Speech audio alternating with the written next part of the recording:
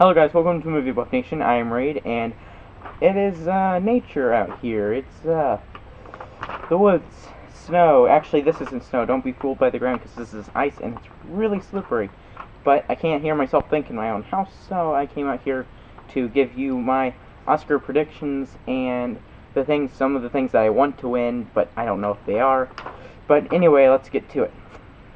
First off, I'm I'm just gonna go with the important ones. Uh, I mean, some of the other important ones, but things like sound mixing or sound editing or and stuff like that, I don't really appeal to me. I mean, they they're not really things I think about whenever I go see a movie.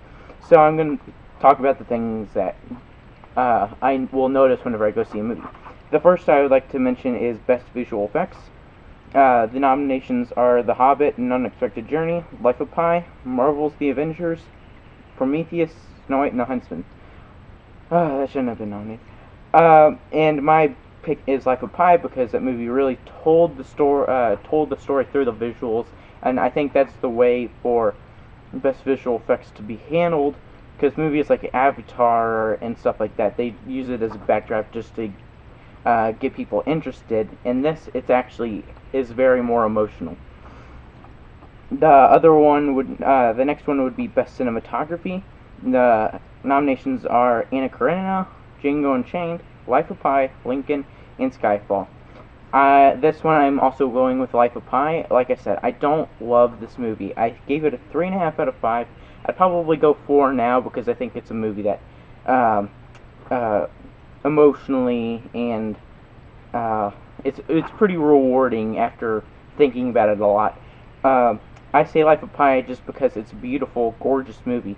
But there's one movie that I would like to win more, and I think has the best cinematography, and that it would be Skyfall. I think Skyfall has the best cinematography, but these are also predictions, and I want to predict the Oscars as best I can.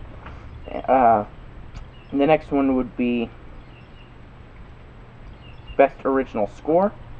Uh, there's Anna Karenina, Argo, Life of Pi, Lincoln, and Skyfall. I'm going to say Life of Pi wins it again, I know. Uh, it's because it has so many uh, different musical instruments involved. It's very, it puts you right in the time. I do like, I think Skyfall is my favorite score of 2012. Well, it's not my favorite score, but my favorite scores weren't nominated.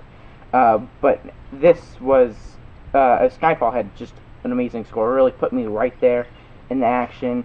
It sucked me in. If anything in that movie didn't suck me in as much as the um, nothing sucked me in as much as the music in that movie, and it was really just phenomenal. is is great. Uh, but like I said, I think Life of Pi is going to take that one.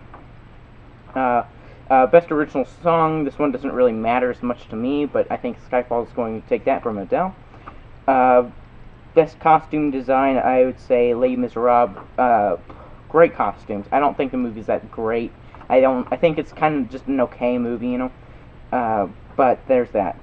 Um, best adapted screenplay. I don't really think about this a whole lot, but I'd like to mention it. I'd go with Argo. The nominations for that. Oh, I haven't been uh, listing all of those. Uh, but it would be Argo, Beast of the Southern Wild, Life of Pi, Lincoln, Silver Linings Playbook. I would say Argo because it's one of my favorite movies of 2012, and there's that. Uh, best original screenplay. The nominations are Amour, Django Unchained, Flight, Moonrise Kingdom, and Zero Dark Thirty. I would say Django Unchained because the writing in that movie is just outstanding. So, what, some of the best writing I've ever seen, and it's just incredible. Um, hilarious, and catch my drift. I also think Zero Dark Thirty could win, uh, and I and I would be more than happy if that won because it's my second favorite movie of 2012. Uh, Best foreign film. I'm just gonna. I'm not gonna list the nomination. I would say Amour, obviously. Uh, best animated feature: Brave, Frankenweenie, Paranorman, Pirates Band of Misfits, which I did like, uh, and kind of underrated actually, or go unnoticed. And Wreck-It Ralph. I would say Wreck-It Ralph because I think it's it's the funniest. It's so it's it's hilarious for the most part. Uh, best supporting actress. Uh, Amy Adams for The Master, Sally Field, Lincoln, Anne Hathaway, Les Miserables, Helen Hunt, The Sessions, Jacki Weaver, Silver Linings Playbook. I guess I'd have to say Anne Hathaway, but I don't. I didn't think she was in it for enough to be worth getting nominated. Uh, but I like it better than the other uh, names I just listed. I haven't seen The Master, so I wouldn't know about that.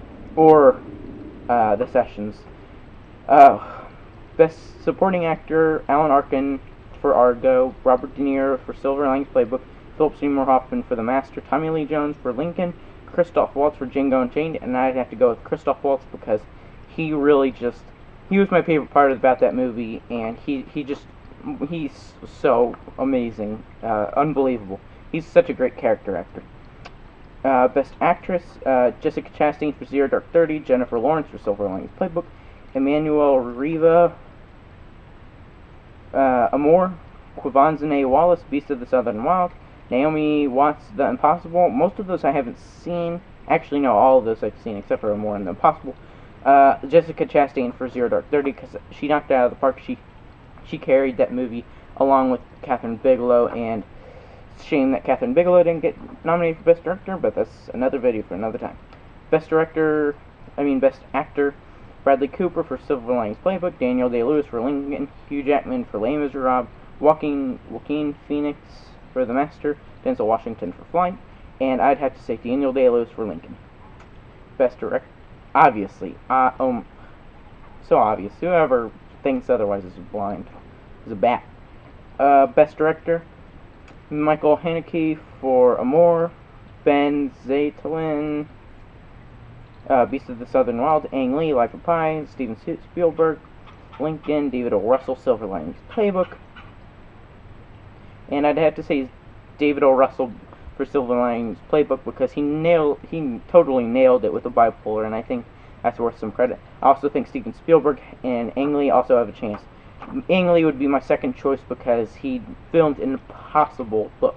I mean, seriously, fantastic job. Best Picture, Amour, Argo, Beast of the Southern Wild, Django Unchained, Lame Les Miserables, Life of Pi, Lincoln, Silver Linings Playbook, and Zero Dark Thirty. I'd say Argo. Uh, I like Zero Dark Thirty and Django Unchained more. However, I think Argo has more of a shot, and I think Lincoln also has a, a good shot. And the only reason I'm skeptical with my choice of Argo is because Ben Affleck didn't get direct uh, nominated for Best Director, and it's only happened once in the history of film uh, of the Oscars that a Best Picture movie has won without it being directed, been nominated for Best Director, if that makes sense. So, there are my picks. If you agree, if you disagree, comment down below. Just let me know uh, what you think. And until next time, adios.